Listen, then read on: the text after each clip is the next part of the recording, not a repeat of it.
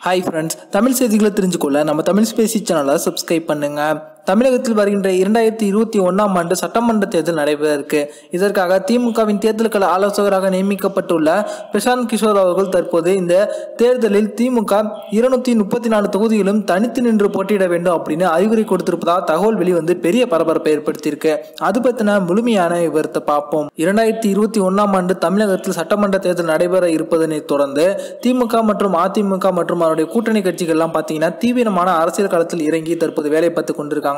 இந்த சர்க்கால ஆலோசகராக ஐபேக் நிறுவனத்தின் பிரசாந்த் கிஷோர் அவர்களை நியமிச்சிருக்காங்க. இது தொடர்பான அதிகாரப்பூர்வ அறிவிப்பை மு ஸ்டாலின் அவர்கள் வெளியிட்டாங்க அப்படிங்கிறது குறிப்பிடத்தக்கது. இந்த பிரசாந்த் கிஷோர் அவர்கள் பார்த்தீங்கன்னா இதற்கு முன்னால் இந்திய பிரதமர் மோடி ஆந்திர முதல்வர் ஜெகன்மோகன் ரெட்டி அப்படின்னு நிறைய முக்கியமான அரசியல் தலைவர்களுக்கு தேர்தல் கள ஆலோசகராக செயல்பட்டிருக்காங்க. சமீபத்தில் டெல்லியில் கெஜ்ரிவால் அவர்கள் முதல்வராவதற்கு கூட இவங்க தான் தேர்தல் கள ஆலோசகராக இருந்தாங்க அப்படிங்கிறது குறிப்பிடத்தக்கது. இந்த சமயத்தில் இவங்க திமுகவின் தேர்தல் கள ஆலோசகராக நியமிக்கப்பட்டிருப்பது தற்போது தமிழக அரசியல் களத்தை அனைவரும் உற்று நோக்கும் ஒரு விஷயமாக மாறியிருக்கு. இதனைத் தொடர்ந்து ஒரு புதிய தகவல் வெளிவந்திருக்கு. அதாவது பிரசாந்த் கிஷோர் அவர்கள் இரண்டாயிரத்தி இருபத்தி ஒன்றாம் ஆண்டு சட்டமன்ற தேர்தலில் திமுக இருநூத்தி முப்பத்தி நாலு தொகுதியிலும் தனித்து நின்று போட்டியிட வேண்டும் அப்படின்னு சொல்லியிருக்காங்களாம்.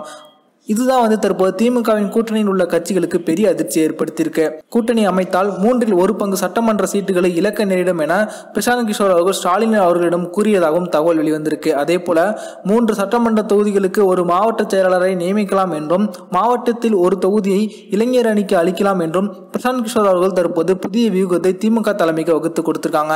மேலும் குற்ற பின்னணியில் இல்லாதவர்களுக்கு வாய்ப்பு அளிக்க வேண்டும் எனவும் பிரசாந்த் கிஷோர் அவர்கள் தற்போது திமுகவோட தலைமைக்கு உத்தரவு போட்டிருக்காங்களாம். அதே போல அடுத்ததா பாத்தீங்கன்னா திமுகவின் தேர்தல்கள் ஆலோசகரான பிரசாந்த் கிஷோர் அவர்களுக்கு தற்போது பாமக கட்சியின் ஒருங்கிணைப்பாளரான ராமதாஸ் அவர்கள் ஒரு எச்சரிக்கையை விடுத்திருக்காங்க அப்படின்னே சொல்லலாம். இது குறித்து அவங்க தன்னுடைய ட்விட்டர் பக்கத்துல பாத்தீங்கன்னா பிரசாந்த் கிஷோர் அவர்களுடைய ஐபேக் நிறுவனத்தில் பணிபுரிந்த ஒருவருடைய பதிவை தன்னுடைய ட்விட்டர் பக்கத்துல வெளியிட்டு அவங்க வந்து இந்த கருத்தை தெரிவிச்சிருக்காங்க.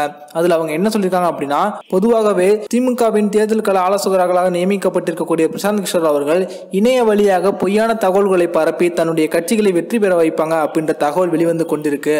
தற்போதைய காலகட்டத்தில் தொழில்நுட்பம் அதாவது குறிப்பாக இணைய தொழில்நுட்பம் பெருகிவிட்ட காலத்தில் பொய்யான செய்திகளை பொய் பிரச்சாரங்களை தேர்தல் முடிவுகளை தீர்மானிக்கும் விஷயங்கள் ஆகிவிட்டன. ஏதேனும் ஒரு வழியை பயன்படுத்தி வாக்காளர்களின் உணர்வுகளை தொடுவதற்காக அரசியல் கட்சிகள் இடையே பெரும் போர் நடக்கிறது. தேர்தல் வெற்றிக்காக இரு சமுதாயங்கள் ஒன்றுடன் ஒன்று சேர்ந்து மோதவிடுவது தங்களின் ஆதரவாளர்களை ஒருங்கிணைக்கும் முயற்சியில் எதிர் சமூகத்தை அச்சுறுத்தும் நோக்குடனும் பொய்யான செய்திகளை பரப்புவதும் போன்றவை தற்போது அரசியல் கட்சிகளின் அடிப்படை தேர்தல் உத்தி ஆகிவிடுகிறது என பிரசாந்த் கிஷோரின் ஐபேக் நிறுவனத்தில் பணியாற்றிய சிவம் சங்கர் சிங் அவர்கள் தற்போது தகவலை வெளியிட்டிருக்காங்க. இதன் காரணம் காரணத்தினால இது போன்ற வேலைகளில் திமுக ஈடுபடுவதற்கும் வாய்ப்பு இருக்கு. இதனால் நாம எச்சரிக்கையாக இருக்க வேண்டும் அப்படின்னு ராமதாஸ் அவர்கள் தெரிவிச்சிருக்காங்க. இது ஐபேக் நிறுவனத்துக்கு ஒரு கண்டிக்கக்கூடிய ஒரு விஷயமாகவும் தற்போது அவங்க வெளியிட்டிருக்காங்க அப்படிங்கிறது குறிப்பிடத்தக்கது. இந்த வீடியோ உங்களுக்கு பிடிச்சிருந்துச்சுன்னா லைக் பண்ணுங்க ஷேர் பண்ணுங்க. நன்றி.